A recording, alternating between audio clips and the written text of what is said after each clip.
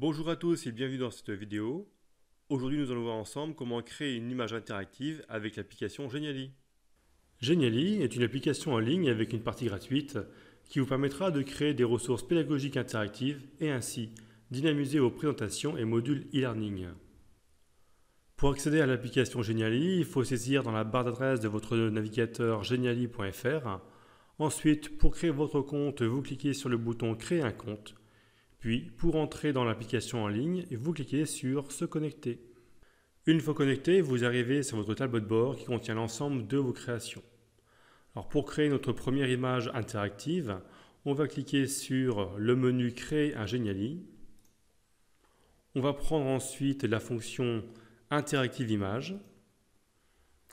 Et ici, on va cliquer sur Créer une image interactive et vous allez rechercher dans votre disque dur le fond de votre image. Et je clique ensuite sur Accepter.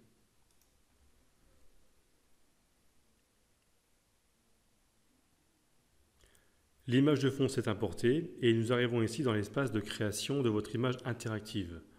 Nous allons passer en revue les différentes possibilités que l'on observe ici sur le côté gauche dans la barre d'icônes. En premier, on va intégrer un titre à notre carte. Pour cela, dans la barre d'icônes sur le côté gauche, on va cliquer sur l'icône texte, puis titre 1. Ici, je vais saisir euh, le titre de ma carte qui sera les pays d'Europe. Sur ce titre, je vais appliquer une mise en page. Donc ici, je vais sélectionner mon titre avec ma souris et dans la taille, je vais mettre une taille 42. Je vais le centrer à peu près comme ceci. Je vais pouvoir lui mettre également un gras, mais aussi une couleur. Je vais le mettre en bleu, comme ceci. Ensuite, nous allons rendre cette carte interactive en lui insérant des marqueurs qui s'activeront au clic ou au passage de la souris. Donc dans votre barre d'icônes, on va cliquer dans éléments interactifs, on va prendre marqueur et dans la liste des, marqueurs, on va prendre le marqueur avec un œil.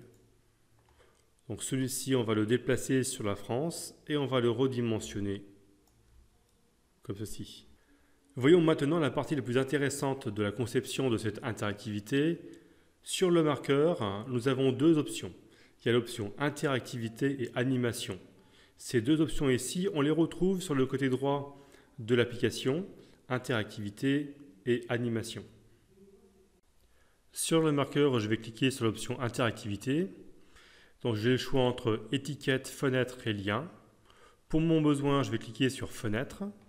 Je vais mettre un titre à ma fenêtre. Ici, je vais l'appeler La France.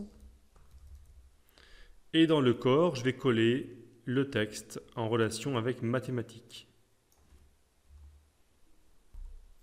Je vais ensuite mettre en page mon texte en centrant ici mon titre, en justifiant mon texte, en insérant des listes à puces euh, sur des endroits euh, qui comportent des éléments importants. Et entre ces deux paragraphes-là, je vais pouvoir insérer donc un média qui va être une image qui est située dans mon disque dur. Donc là, je place mon curseur entre les deux paragraphes et je vais cliquer sur Insérer une image que je vais aller rechercher dans mon disque dur Ici, ce sera le drapeau de la France. Et cette image-là, je vais pouvoir la redimensionner. Je vais pouvoir améliorer la qualité donc, de mon titre en le sélectionnant et en le mettant en gras, comme ceci. La mise en page est terminée, je vais cliquer sur sauvegarder. Ensuite, si on veut tester notre Geniali, on va aller sur le petit œil en haut à droite, prévisualiser. En cliquant sur prévisualiser, j'ai ma carte qui va se charger avec le marqueur ici. Quand je passe ma souris sur le marqueur, j'ai l'étiquette du marqueur qui va s'afficher qui m'indique que c'est la France et en cliquant, j'ai l'étiquette complète qui va s'afficher avec mon texte et le média image. On va faire évoluer notre Geniali en intégrant un nouvel élément interactif qui va être un nouveau marqueur.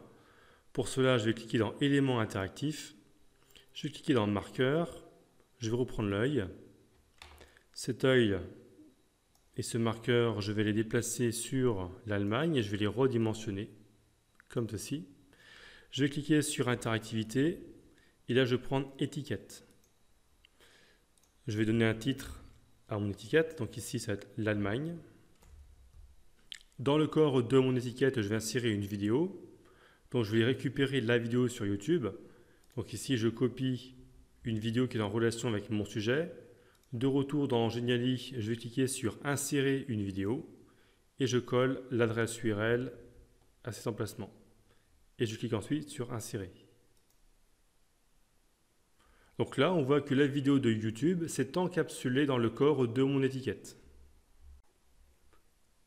Je vais sauvegarder ma mise en page en cliquant sur le bouton Sauvegarder. Puis ensuite, je vais tester ma nouvelle étiquette en cliquant ici sur le bouton Prévisualiser. Donc là, j'ai ma page et ma carte qui vont se charger. Et en passant ma souris sur le marqueur de l'Allemagne, j'ai ma vidéo qui va apparaître encapsulée dans l'étiquette de Geniali. On va intégrer un dernier élément interactif à notre carte Geniali. Donc on va cliquer sur élément interactif, marqueur, et on va reprendre le même marqueur que les deux précédents. Donc je vais le déplacer sur l'Espagne et je vais le redimensionner. Et ici, je vais cliquer sur l'option interactivité et je vais prendre non pas étiquette et fenêtre, mais je vais prendre lien. Et ici, je vais coller l'adresse URL d'un site qui va renvoyer vers Wikipédia Espagne. Je clique sur sauvegarder. Maintenant, je vais tester en cliquant sur prévisualiser. Donc ici, quand je vais cliquer sur le marqueur de l'Espagne, ça va me renvoyer directement sur la fenêtre de Wikipédia. Pour finaliser notre image interactive, on va donner de l'animation à nos différents marqueurs. Donc pour cela, on va tous les sélectionner par la touche CTRL, clic. Et après, on va aller dans, en haut à droite ici dans Animation. Et on va modifier l'effet d'apparition de nos marqueurs. Donc ici, je vais cliquer sur Renverser axe, comme ceci. Et ensuite, je vais tester en cliquant sur Prévisualiser.